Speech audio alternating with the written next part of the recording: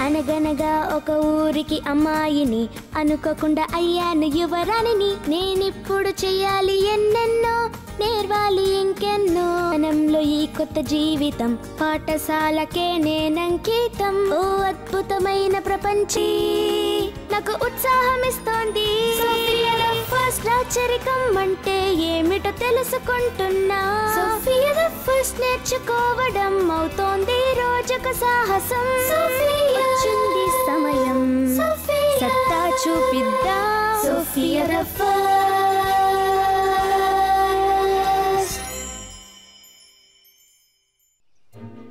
మేనత్త సాహసం. ఉమ్, ఇది ఇది.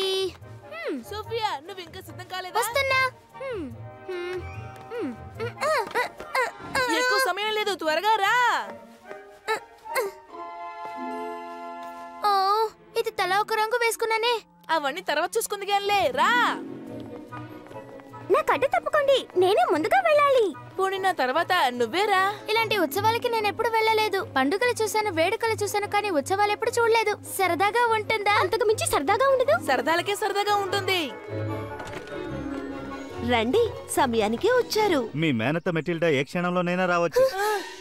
అత్త ఈ రోజు వస్తున్నారా? ఈ రోజా హే తనతో కొంచెం కష్టమా? అది కష్టం కాదు నరకం. ఆవిడైతే కష్టమే. అదిగో తను వచ్చేస్తోంది ఆవిడ మన పెళ్ళికే వచ్చుంటే ఎంతో బాగుండేది నాకు త్వరగా ఆవిడని కలుసుకోవాలనుంది. నీకు అలాగే ఉంది కదూ? ఆ, తొందరపడక సోఫియా. ఆయన టిల్లి అయితే చేసే పిండి వంటలు మాత్రం అద్భుతమేలే. మాటి మాటికి బుగ్గల్ని గిలుతూ తల మీద బాతుతూ ఉంటారు. మనలో ఎవరో ఒకరిని సాయం చేయమంటుంది. మీరలా సాయం చేస్తారా? మేమెప్పుడు తప్పించుకునే వాళ్ళం. తను బాగా విసిగిస్తారు. ఎంతైనా వేడిగా ఉండే వంటగదిలో విసిగించే అత్త ఉంటే ఎలా ఉంటుందో చెప్పు. ఇలాంటి ఉత్సవాల సమయంలోనే రావాలా? అమ్మో తను వచ్చేసారు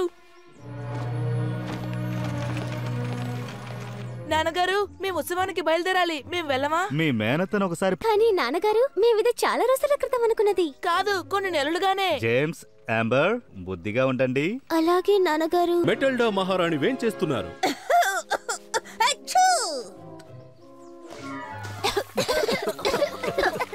దుమ్ము కొంచెం ఎక్కువైనట్టుంది. రోలాండ్ నా ప్రియమైన సోదరా.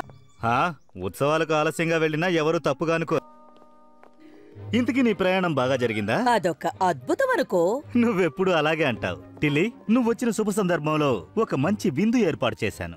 చాలా సంతోషం. మరి ఆ వేళకు అలాగే మేమందరం నీ ప్రత్యేక పలవంటకం కోసం ఎదురు చూస్తూ కూడా ఉంటాం. దానికి నేనెప్పుడూ సిద్ధమే. చెప్పాను కదా. మంచిది. టిల్లీలాగా ఆ వంటకాన్ని ఈ రాజ్యంలోనే ఎవరూ చేయలేరు.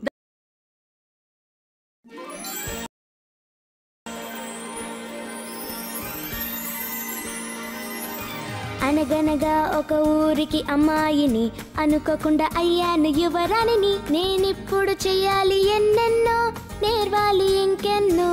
రాజభవనంలో ఈ కొత్త జీవితం